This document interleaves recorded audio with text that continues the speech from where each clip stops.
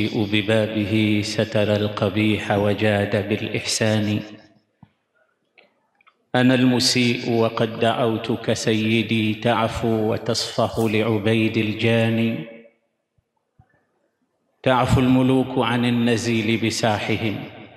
كيف النزول في ساحة الرحمن؟ أنا لا أضام وفي رحابك عصمتي. أنا لا أخاف وفي حماك أماني. أنا إن بكيت فلا ألام على البكاء فلطالما استغرقت في العصيان. إن الحمام ينوح من ألم النوى وأنا أنوح مخافة الديان. يا واحدا في ملكه ما له ثاني يا من إذا قلت يا مولاي لباني. أنسى فتذكرني في كل نائبة فكيف أنساك يا من لست تنساني؟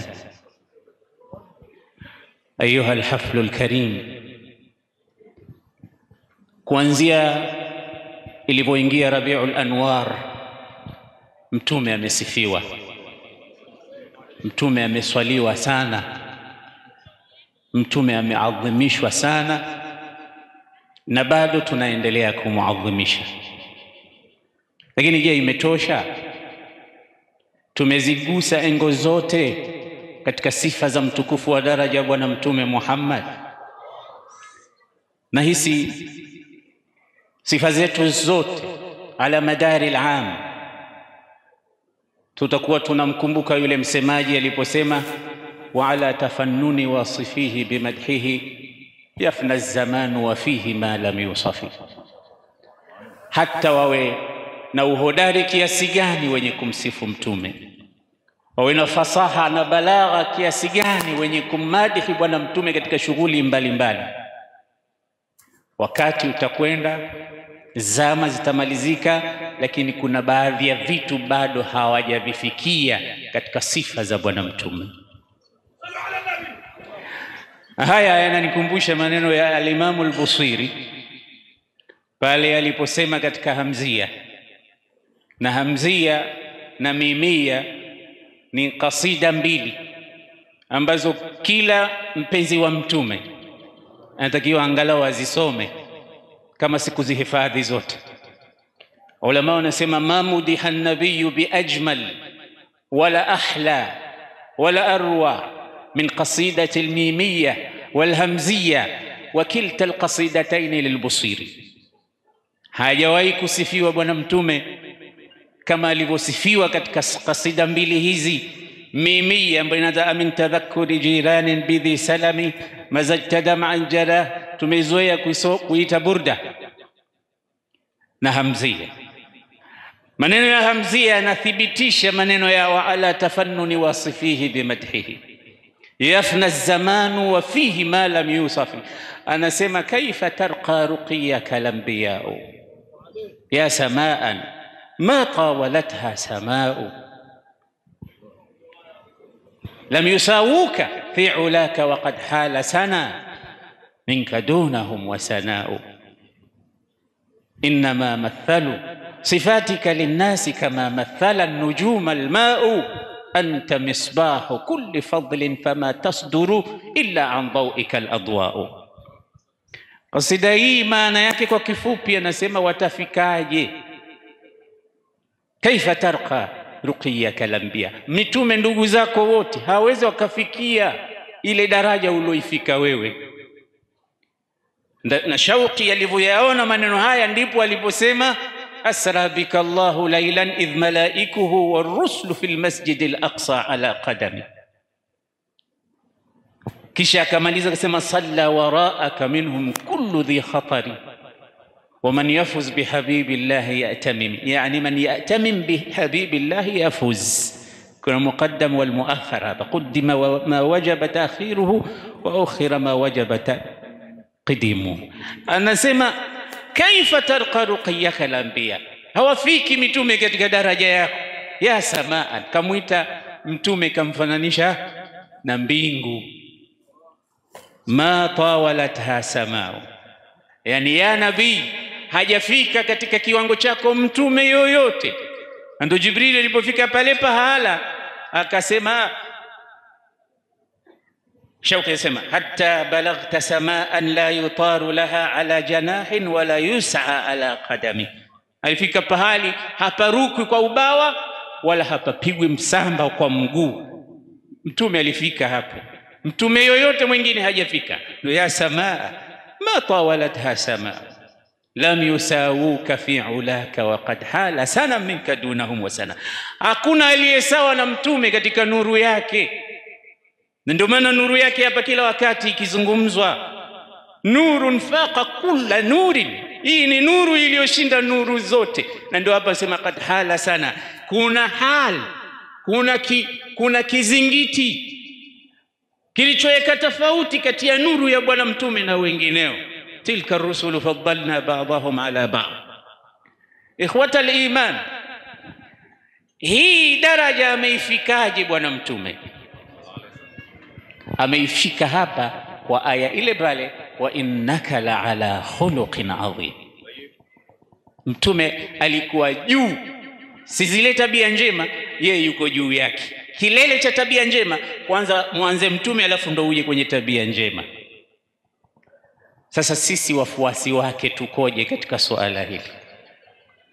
Na mwenyewe kila anapozitolea habari katika Qur'ani na katika hadithi zake bali ulama wanasema ibada imetajwa mara mia moja na thalathini lakini akhlaq zaidi ya elfu mbili na zimetajwa katika Qur'an, kuonyesha watu wanatakiwa wajipambe na tabia kama mtume wao.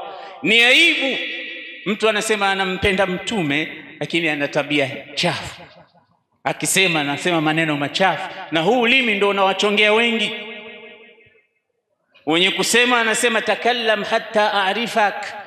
Hebu zungumza nitakujua. Ukishazungumza tu ulimi wako utakufichua. Unawezekana ukaonekana mtu mtanashati, mtu mzuri wa sura, mavazi yako mazuri, lakini ukianza kusema mdomo unatoa harufu mbaya kwa maneno machafu. Je, wafuasi wa mtume tukoje katika suala hili la akhlaq ambalo mtume amejipamba nalo akafika kiwango ambacho hawakufika wengine? Lakini mtume anatoa zawadi kubwa, anasema inna min aqrabikum ilayya inna min ahabbikum ilayya wa aqrabikum minni majlisan yawma alqiyama ahasinakum akhlaqa, wale wapendezao sana kwangu mimi Muhammad, nao wapenda sana na watakokuwa karibu nami siku ya Kiyama ni wale wazuri wa tabia. Kisha akasema tena innama almu'minuna, asema akmalu almu'minina imanan ahsanuhum khuluqa Waumini waliokamilika imani yao kikweli ni wale waliokuwa wazuri wa tabia. wa khiyaruhum khiyaruhum linisaihim, na wazuri wao ni wale wazuri kwa wake zao majumbani. Na unapozungumza jambo hili la uzuri majumbani, wanawake wanatokwa na machozi, lakini wanasikia mumewe ana sifa nyingi mitaani, lakini hizo sifa hata moja haionekani kule nyumbani. Utasikia bwana yule ana maneno mazuri lakini akiingia nyumbani anabadilisha kaseti, mdomo ni kama moto wa Jahannam. Huyu anaambia watu huku, jamani, wapendeni wake zenu, yeye hana mapenzi na mkewe. Anasema Mtume alikuwa akiingia nyumbani kwake anaanza na mswaki, yeye analala, anaamka, mswaki apigi, nyumbani kwake kumeanikiza harufu mbaya. Lakini Mtume anasema miongoni mwa haki za sisi hawa wanawake an tut'imaha idha ta'imta an taksuwaha idha iktasaita wala tadrib alwajha wala tuqabbih wala tahjurha illa fi bayt, mlishe mvishe, usimpige wala usipige sura na wala usihame nyumba. We ukikerwa kidogo nyumbani kwako ni msikitini. Lakini Mwenyezi Mungu Subhanahu wa Ta'ala alipotumilikisha hawa, kuna haki nzito alituambia tuifanye, waashiruhunna bilma'ruf changanyikaneni nao kwa wema. Wewe umechanganyika na watu wote kwa wema, ila mke wako nyumbani na watoto wako. Hayo sio mafunzo ya Bwana Mtume. Leo ukiondoka hapa kwenye hadhara, hichi ni kitu tunakufundisha kama ulikuwa hujui. Wanaume wengine tunakosa mapenzi ya wake zetu kwa sababu ya suala la kuwa wachafu. Hatutaki kukoga, hatutaki kusugua meno By the way, madaktari wa Tanzania wamenitumia ujumbe, wamesema kuna mawaidha moja wameifurahia sana, wanasema hilo wameliona. Mtu unakwenda kuangaliwa kinywa, basi inakuwa hutizamiki. Ni aibu wakati mtume wetu anasema, laula an ashuqa ala ummati la amartuhum bisiwaki maa kulli sala. Ni aibu sisi Waislamu ikiwa mtume, bibi Aisha anasema kana idha dakhala baitahu badaa bisiwak ni aibu sisi kama Waislamu. Abdullahi ibnu Abbas habrul umma, kabla hajaingia nyumbani kwake anajitengeza kilemba chake kwanza, ili aonekane mtanashati nyumbani. Ni aibu sisi tukiwa nyumbani tunaonekana ni watu rafu wa kawaida tu.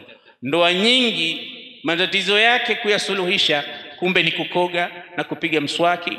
Na msinione nawasumbulia wanaume wenzangu kuna baadhi ya mambo kama sisi ndugu zako rafiki zako hatukuambii, hakuna mtu atakaye kuambia, na tunaambiana katika hadhara hii ya mtukufu wa daraja, msafi wa wasafi, nadhifu, ambaye alikuwa akipita, watu walikuwa wanajua mtume amepita, akimkamata mtoto kichwa, ile harufu wanajua huyu amekamatwa na mtume Muhammad. Huo ndio Uislamu na hiyo ndio tabia miongoni mwa tabia za bwana mtume Muhammad. Lakini inamaliza maneno yangu kwa hadithi nyingine ya bwana mtume anasema, ma shay'un athqalu fi mizani lmumini yauma alqiyamati min husni lkhuluq, hakuna kitu kitakachokuwa na uzito siku ya Kiyama katika mizani ya mumin kama tabia njema. Wewe unamnusuruje mtume kwa matusi?